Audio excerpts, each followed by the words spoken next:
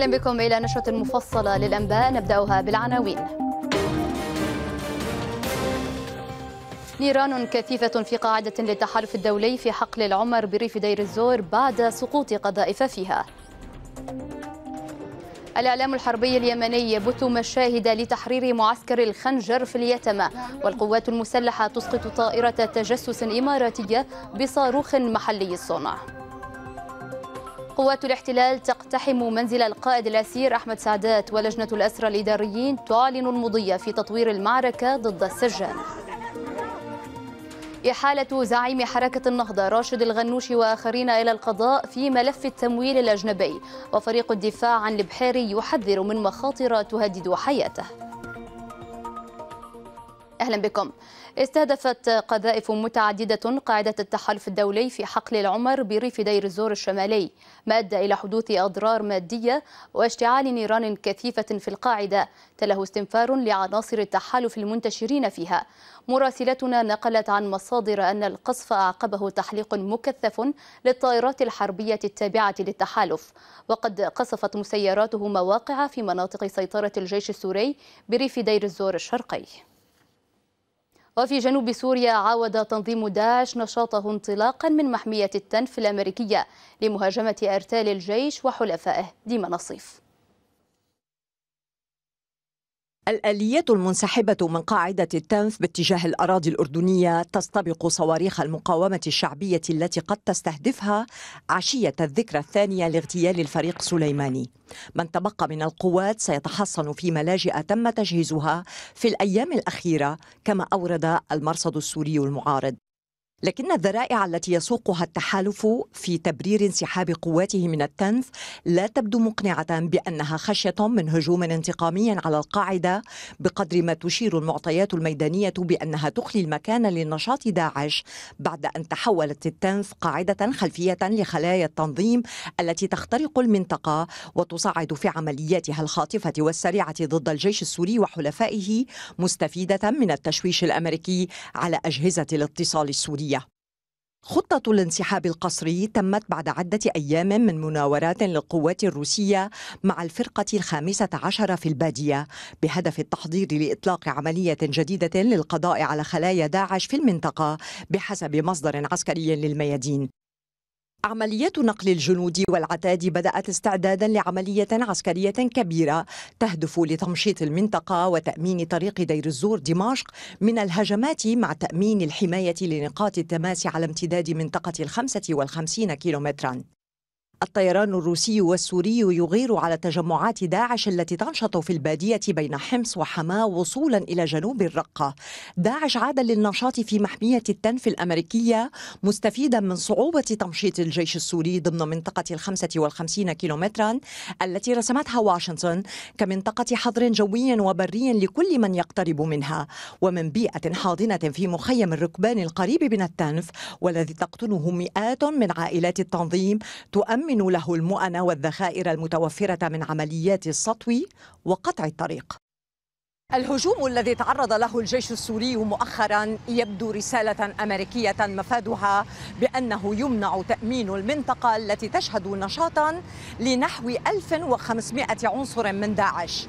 والعدد في تزايد نتيجة مواصلة التحالف نقل المزيد من المسلحين بالمروحيات من سجون قصد إلى البادية السورية والحدود العراقية. ديما نصيف دمشق الميادين. أكد الرئيس العراقي برهم صالح أن شهيد الفريق قاسم سليماني جاء في لحظة عصيبة حيث شارك في إنقاذ العراق من تنظيم داعش. وفي الذكرى الثانية لشهداء قادة النصر شدد على وجوب تعزيز الانتصار وقطع الطريق أمام الإرهاب. القائد الإيراني الكبير الحاج قاسم سليماني الذي أتانا في لحظة عصيبة وشارك مع قواتنا المسلحة. وشارك مع مواطنينا في التصدي لداعش وإنقاذ بلدنا من هجمة إرهابية خطيرة كانت تعصف بنا.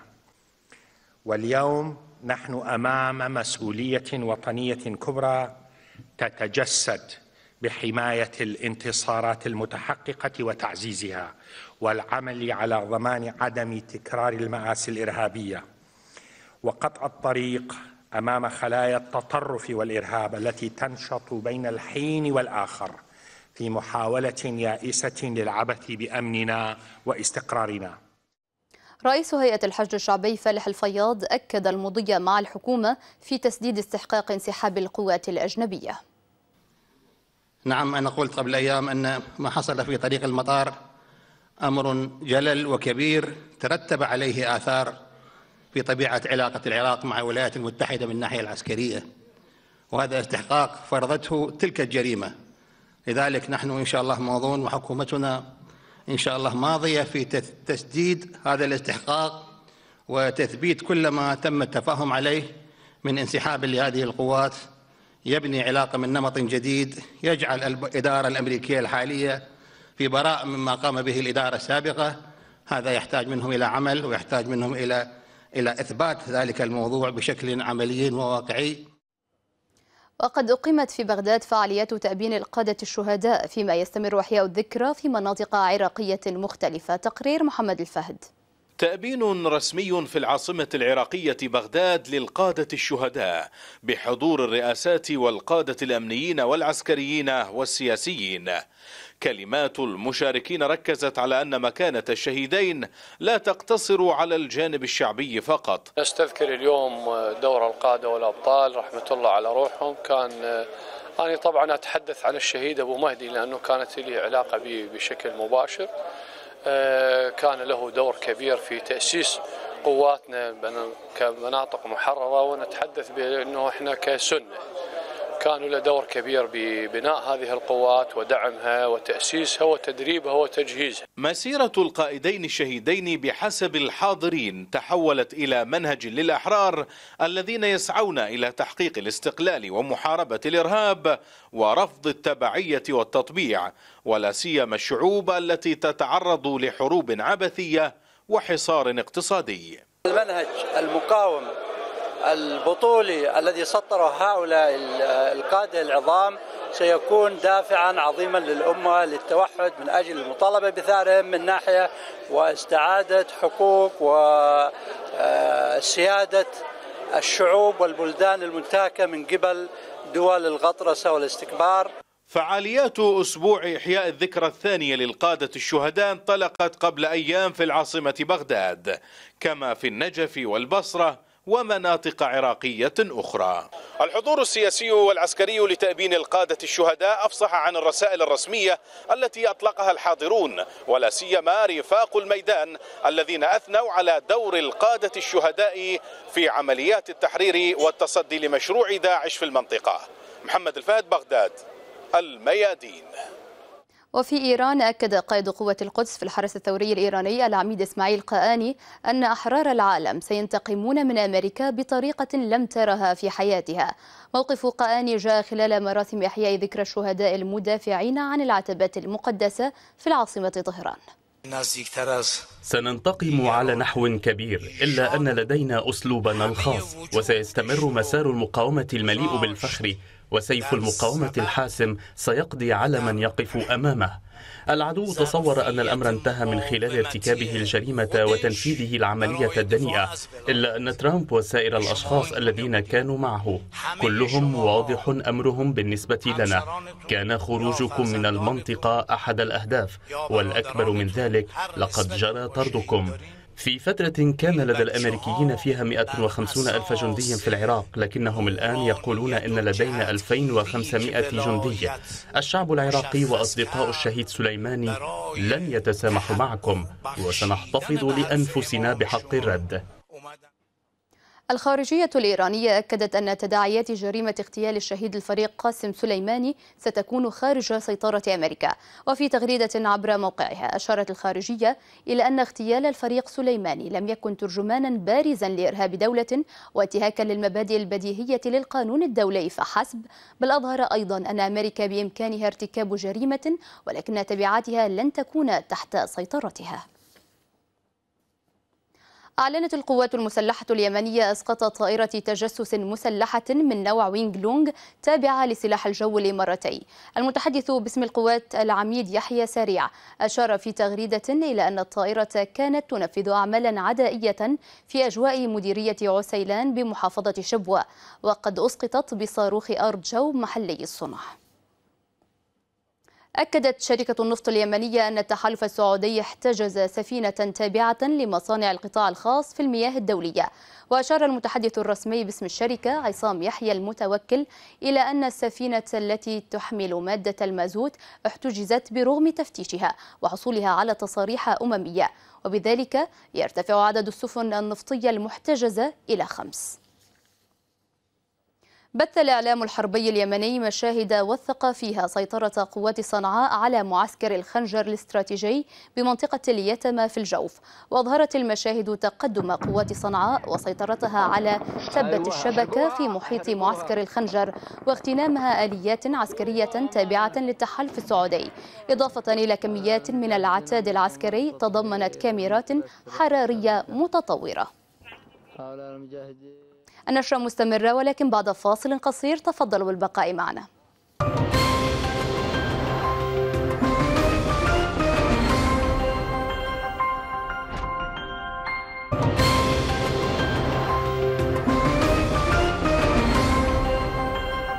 من جديد أهلا بكم.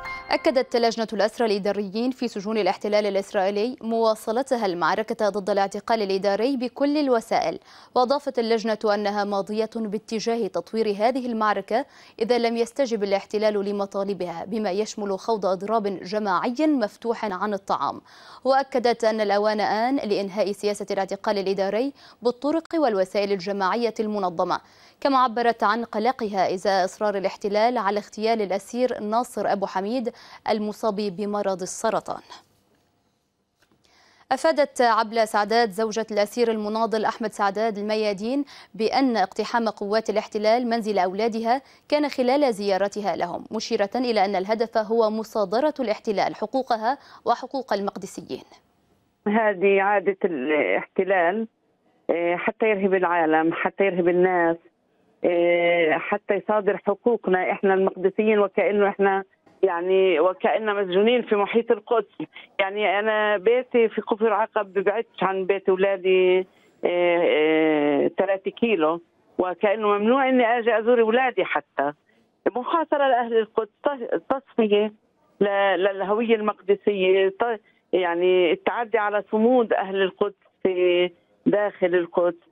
والآن إحنا حتى بنعيش خارج أسوار القدس. اللي هو في منطقة كفر عقب اللي هي محاذية لرام الله. من أبرز الوسائل النضالية التي تسلح بها الأسرى الفلسطينيون لنيل حقوقهم الإنسانية سلاح الإضراب عن الطعام فكانت معركة الأمعاء الخاوية تعبيرا عن تصميمهم على إيصال صوت معاناتهم وقهر السجان الإسرائيلي. علي الأحمر والتفاصيل. أهلا بكم. بعد 141 يوما من الإضراب عن الطعام انتصر الأسير هشام أبو هواش على الاحتلال في معركة الأمعاء الخاوية وانتزع حريته. وذلك بعد التوصل إلى اتفاق يقضي بالإفراج عنه في السادس والعشرين من شباط فبراير المقبل. الإعلام الإسرائيلي اعتبر أن إطلاق سراح أبو هواش انتصار جديد للفصائل الفلسطينية ولا سيما أن فصائل المقاومة حذرت من أنها قد تتجه للتصعيد في حال الاستشهاد. الأسير أبو هواش هو أول أسير ينتزع حريته مع استقبال العام الجديد. سبقه عدد من الأسرى الذين خاضوا الإضراب عن الطعام رفضا للاعتقال الإداري. منهم من علق الإضراب لأسباب طبية. ومنهم من استمر حتى تحقيق النصر وكسر جبروت المحتل من خلال إيقاف الاعتقال الإداري أو تحديد سقف زمني له.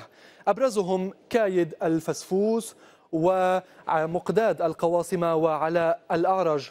هم خاضوا المعركة لإيصال صوت معاناتهم إلى العالم.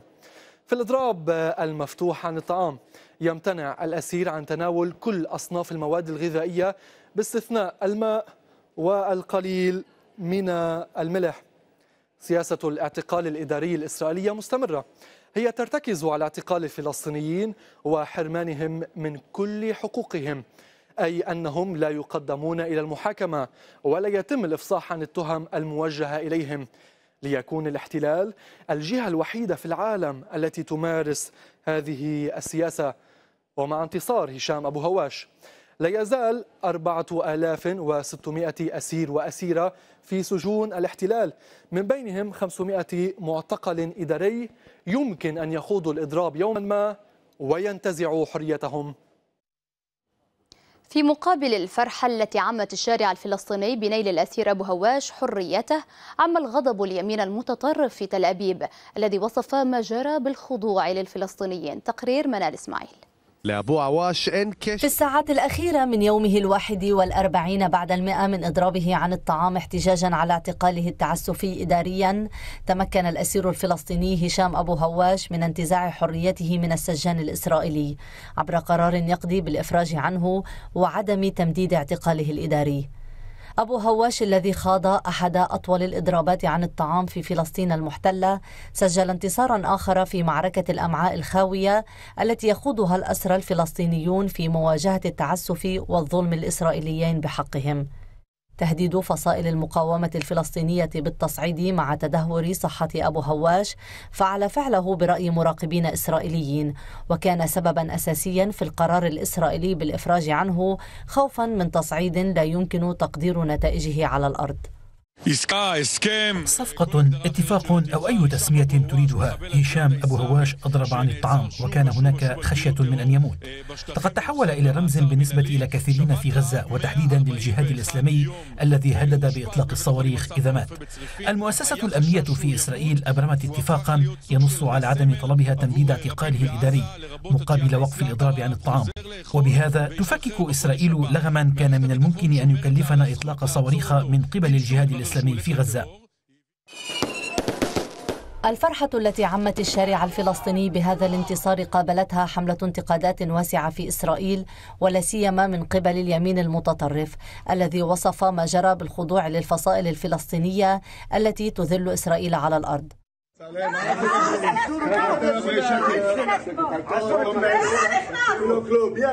وفي تعبير عن العنصرية الإسرائيلية وفور الإعلان عن القرار بعدم تمديد اعتقال أبو هواش توجه رئيس حزب قوة يهودية عضو الكنيسة المتطرف إيتامار بن جافير إلى المستشفى حيث الأسير أبو هواش ليهدد بتصفيته على يد الشباك بعد الإفراج عنه بعدما استشاط غضبا من رفع العلم الفلسطيني في وجهه.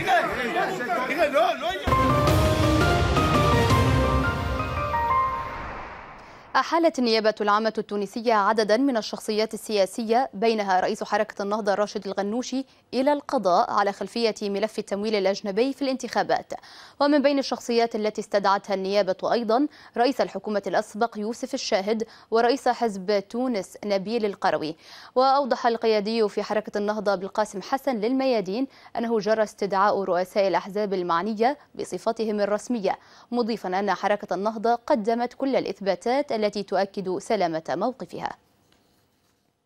وفي تونس أيضا نقل عضو هيئة الدفاع عن نائب رئيس حزب النهضة التونسي نور الدين البحيري عن مصادر طبية أن البحيري حاليا بين الحياة والموت.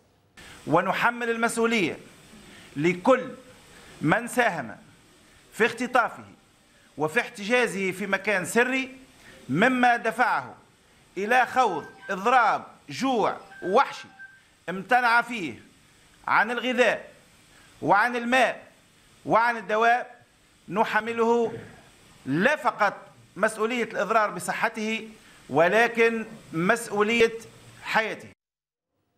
أعلنت الرئاسة الجزائرية استئناف العلاقات الدبلوماسية مع فرنسا ابتداء من يوم غد.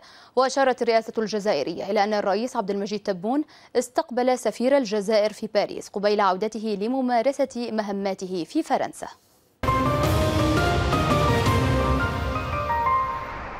أعلنت السلطات في كازاخستان حالة الطوارئ في العاصمة نور سلطان ابتداء من اليوم في وقت تستمر فيه الاحتجاجات في عدد من مناطق غرب البلاد. تسارعت الأحداث في كازاخستان بوتيرة تصعيدية. شارع مشتعل وغاضب.